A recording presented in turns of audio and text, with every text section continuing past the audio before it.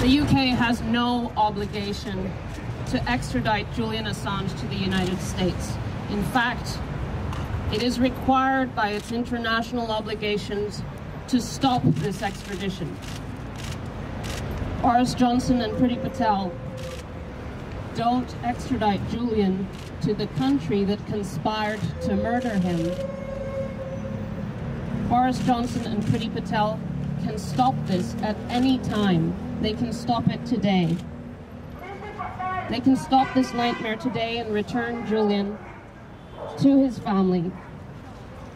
They can do the right thing and enforce Article 4 of the US UK extradition treaty, which prohibits extraditions for political offenses. Right now, they're in breach of their own treaty. This is a political case, and with the signature of the magistrate, this now passes squarely into the political domain.